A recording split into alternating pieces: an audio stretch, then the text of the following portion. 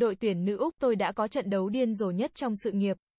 Đội tuyển nữ Úc đã có chiến thắng kịch tính trước đội tuyển nữ Pháp sau loạt sút luân lưu ở vòng tứ kết World Cup nữ 2023. Sau trận, thủ thành của nước chủ nhà, Mackenzie Ano đã không tin vào những gì mà cô và các đồng đội đã làm được. Chiến thắng kịch tính 7-6 sau 10 loạt đá giúp đội tuyển nữ Úc có lần đầu tiên trong lịch sử vào đến vòng đấu của bốn đội mạnh nhất của World Cup. Niềm vui của đội càng trở nên ngọt ngào hơn khi họ làm được điều này ngay ở giải đấu được tổ chức trên sân nhà. Thủ thành Mackenzie Ano trở thành cầu thủ thi đấu nổi bật nhất trong trận đấu tứ kết với đội tuyển nữ Pháp. Người gác đền sinh năm 1994 đã có 5 lần cứu thua 10 sau 120 phút và đẩy được 3 cú sút trong loạt đấu súng. Sau trận, Mackenzie Ano cũng nhận luôn danh hiệu cầu thủ xuất sắc nhất. Cầu thủ đang khoác áo đội nữ West Ham hoàn toàn bất ngờ với những gì đã xảy ra. Mackenzie Ano tự hào chia sẻ tôi không biết diễn tả như thế nào về niềm vui. Nó giống như một chuyến tàu lượn siêu tốc của cảm xúc. Tôi đã có trận đấu điên rồ nhất trong sự nghiệp của mình. Tôi thậm chí còn chưa thực sự hiểu hết những gì đang xảy ra ngay bây giờ. Tôi không nghĩ nhiều, tôi đã chọn được vị trí của mình và bản thân rất vui vì có thể làm công việc của mình theo cách như vậy.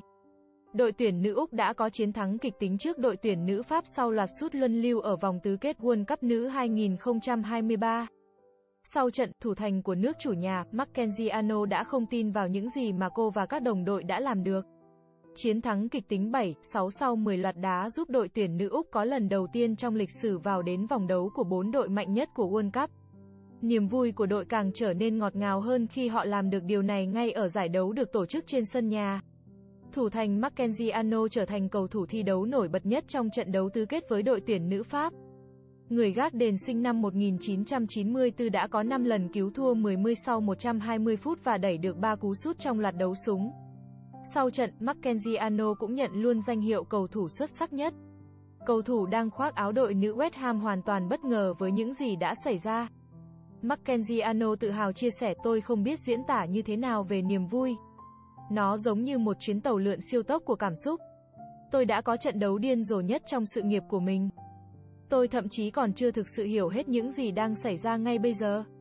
Tôi không nghĩ nhiều, tôi đã chọn được vị trí của mình và bản thân rất vui vì có thể làm công việc của mình theo cách như vậy. Courtney vai cầu thủ vào sân thay người ở phút 105 được chọn là người thực hiện quả phạt đền thứ 10. Đối mặt với thủ thành Solon Duran, cô đã bình tĩnh để ghi bàn thắng quyết định. Khi được hỏi về khoảnh khắc ấy, Courtney vai cho biết bản thân không thể nhớ nổi mình đã vượt qua áp lực ấy như thế nào. Tôi không nghĩ loạt đá có thể kéo đến người thứ 10. Tôi sẵn sàng làm bất cứ điều gì đội muốn tôi làm và huấn luyện viên đã chọn tôi ở vị trí thứ 10. Tôi đã đứng lên và cũng chẳng thể nhớ nổi bản thân đã vượt qua áp lực ra sao. Tôi chỉ nghĩ trong đầu tôi biết hướng nào có thể sút tôi chỉ cần đá nó. Và kết quả điên rồ, chúng tôi đã vào đến bán kết Courtney Vai chia sẻ đầy cảm xúc. Vào bán kết Úc là đại diện duy nhất của châu Á còn cơ hội vô địch giải đấu năm nay. Đáng chú ý, đoàn quân huấn luyện viên Tony Gustafsson đang xếp hạng 10 thế giới, là đội có thứ hạng thấp nhất trong số 4 đội có mặt ở bán kết. Tuy vậy, với sự tiếp sức của Sidervinya, các cô gái của xứ sở chuột túi chắc chắn sẽ nỗ lực hết mình để viết thêm những trang sử đầy tự hào. Cảm ơn các bạn đã theo dõi kênh bóng đá 24 giờ New. Đừng quên đăng ký kênh và bật chuông để nhận những tin tức mới nhất nhé các bạn.